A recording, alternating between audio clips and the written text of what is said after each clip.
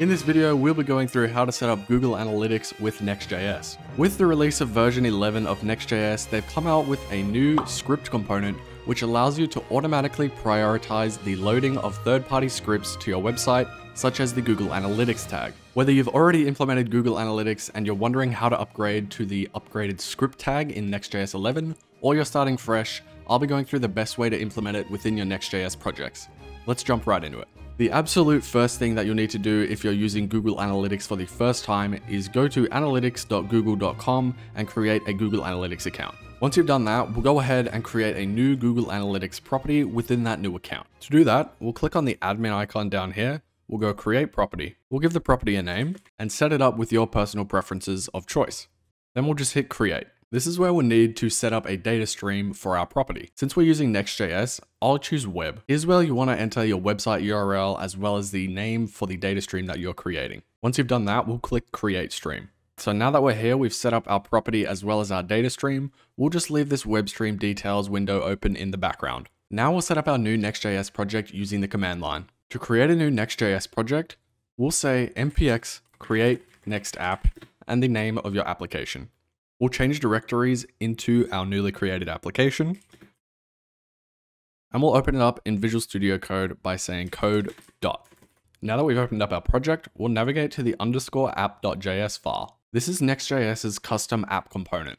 Code that you write on this page is going to impact all of your pages since every page is wrapped within this component. That's perfect for our Google Analytics tag since we want it to be included on all of our pages. The first thing that we need to do is import this script component from Next.js. Now I'll go back to the Chrome tab that we left open inside Google Analytics, and I'll expand this global site tag gtag.js as you can see, there's two scripts here that we want to paste in, but we're not going to use that exact code. What we'll do instead is use the new Next.js 11 script component. I'll go ahead and copy this code so that we can reference it inside our Visual Studio Code.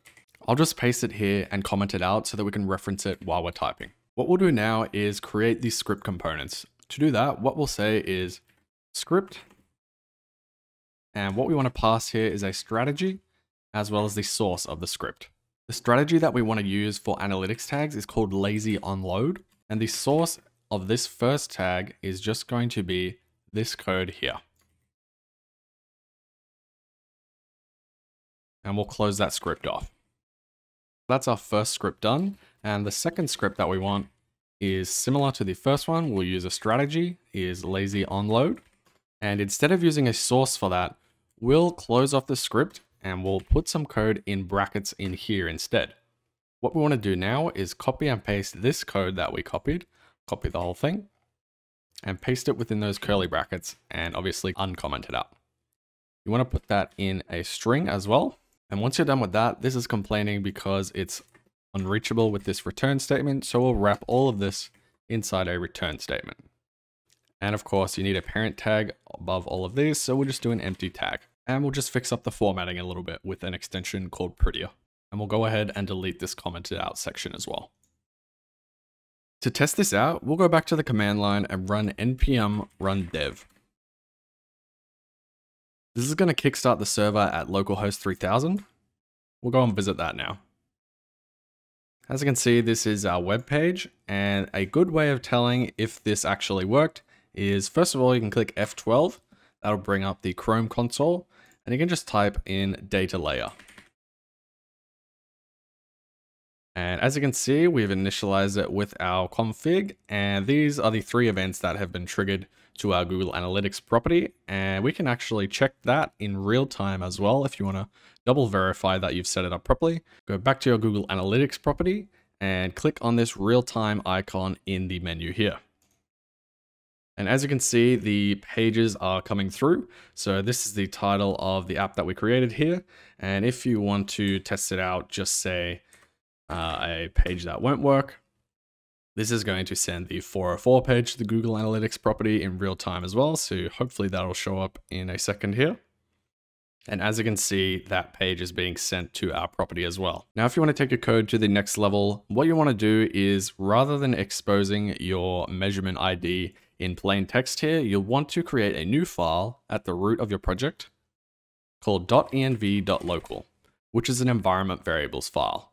What you want to do here is create a key value called next, right, next underscore public underscore Google underscore analytics. Doesn't have to be that, but that's just an example name. And what you do is say equals, and we'll extract this measurement ID out of the code here and place it in here instead. Now in your code, we'll say, instead of just the measurement ID, we'll say dollar sign curly brackets, and we'll say process.env, and we'll paste the name, or process.env dot, and then paste the name of the key that you created in the environment variables file. And we'll do that in this part of the code as well here. So we'll say dollar curly brackets process.env dot next public Google Analytics. And that way you can commit your code to a public repository without exposing your measurement ID. That's going to be it for this video. I hope you guys enjoyed it and maybe it helped you out a little bit. If it did, please consider hitting the like button as it really does help out my channel. And if you want to see more content like this in the very near future, consider subscribing to the channel as well. Thank you very much for watching. I'll see you in the next one.